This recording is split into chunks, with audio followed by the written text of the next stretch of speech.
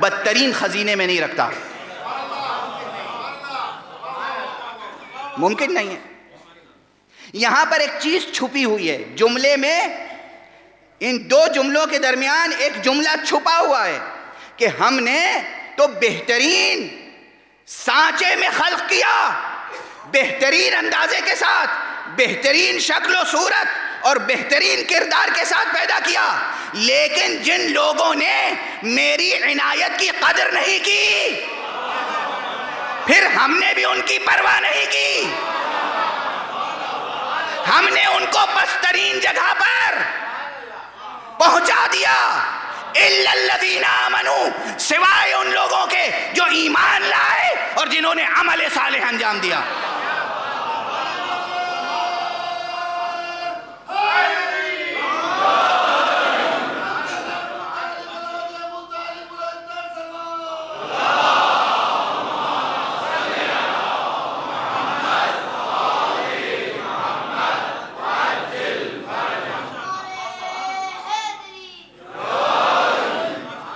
سوائے ان کے جنہوں نے ایمان اختیار کیا اور عمل صالح بجا لائے، ان کے لیے کیا ہے؟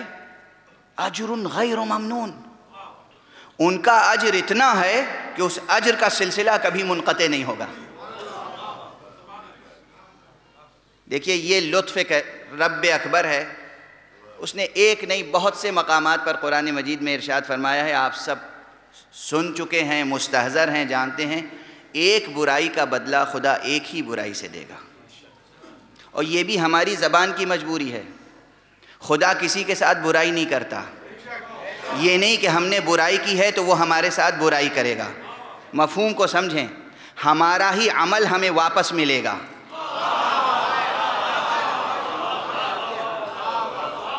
کیا ملے گا؟ ہمارا عمل ہمیں واپس ملے گا۔ تو یہ اس کا لطف ہے کہ ہمارا برا عمل جو ہے، اس کو وہ جوں کا توں ویسے ہی واپس کر دے گا۔ اور ہمارا اچھا عمل اسے خوب بڑھا کے واپس کرے گا۔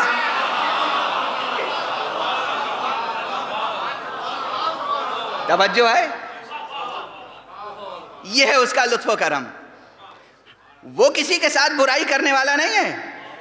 ناممکن۔ برائی کا بدلہ، برائی کے معنی ہے کہ جو ہم نے عمل انجام دیا ہے، وہ واپس ملے گا۔ ہم جھوٹ بولیں گے؟ یہ جھوٹ صدائے بازگش کی طرح واپس ہم ہی ہم ہی تک پہنچے گا۔ ہم خیانت کریں گے، خیانت ہم تک واپس آئے گی۔ لیکن ہم نیکی کریں گے، نیکی واپس آئے گی، لیکن بڑے اضافوں کے ساتھ۔ اور یہ اضافہ کتنا ہوگا؟ اجر غیر ممنون۔ اتنا ہوگا کہ تم اندازہ نہیں کر سکتے۔ مسلسل، متصل، نیکی کا سلسلہ ختم ہی نہیں ہوگا۔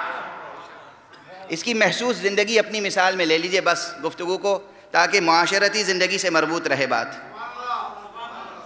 ایک شریف انسان کا مزاج یہ ہوتا ہے کہ اگر کسی نے اس کے ساتھ برائی کی، تو اولاً تو نظر انداز کر دے۔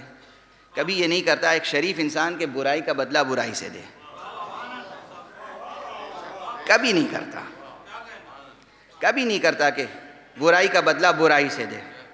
بس یہ کرتا ہے کہ برائی کرنے والے سے تعلق توڑ لیتا ہے۔ یہ خود بہت بڑی سزا ہے۔ یہ خود بہت بڑی سزا ہے۔ بھئی روزانہ کسی سے ہم جھک کر سلام کرتے ہیں، محبت سے پیش آتے ہیں۔ اور ایک دن بلا سبب وہ ہمیں دشنام کرنے لگے۔ تو بس اتنا ہوگا کہ وہ جو لطف سے، محبت سے مسکرا کے ہم ان کی طرف دیکھتے تھے، وہ دیکھنا چھوڑ دیں گے۔ پناہ بخدا خدا نہ کرے کہ اللہ اپنی چشم کرم کسی کی طرف سے موڑ لے۔ یہ خود ایک بہت بڑی سزا ہے۔ لیکن یہی شریف انسان، اگر کسی شخص نے اس کے ساتھ زندگی میں ایک بار بھی نیکی کی ہے تو اس کی کوشش یہ ہوگی کہ جب بھی اس سے ملاقات ہو، یہ نیکی سے پیش آتا رہے۔ جب ہم محدود وجود رکھنے والے انسان، محدود سرمایہ رکھنے والے انسان، محدود پونجی رکھنے والے انسان، ہمارا جذبہ یہ ہوتا ہے کہ کسی نے ایک بار سلوک کیا تو ہم ہمیشہ اچھا سلوک کرتے رہیں تو وہ جو غنی علی الاطلاق ہے، جس کے خزانے میں کوئی کمی نہیں ہے، کیا اس کا تقاضا یہ نہ ہوگا کہ کوئی ایک بار میں اس میرے راہ میں نیکی کرے، تو میں ہمیشہ اس کے لیے نیکیوں کا سلسلہ جاری کر دوں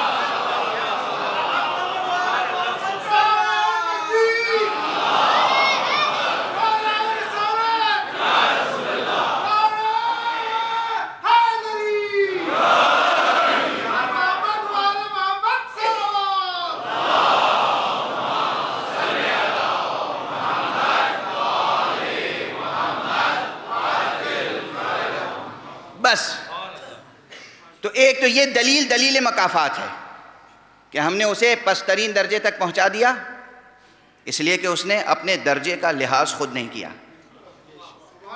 احسن تقویم پہ ہم نے پیدا کیا تھا، اس نے اس کا خیال نہیں کیا، لحاظ نہیں کیا، تو ہم نے پسترین درجے تک پہنچا دیا۔ جہاں تک پہنچنا چاہتا تھا، پہنچنے دیا۔